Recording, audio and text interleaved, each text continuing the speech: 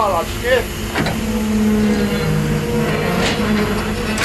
Zaraz przy brzegu i wtedy się zostawi przerwę i... No nie. To nie wiem. Tamte strony są rozjazdy odpłatne.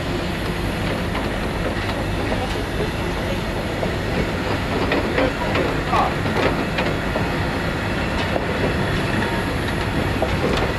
Ale ci to dzisiaj zeszło. Godzinę stałego nie było na staniczego, kurwa. Jak chciałem dzwonić, to też nie ucieknie. Ale co to też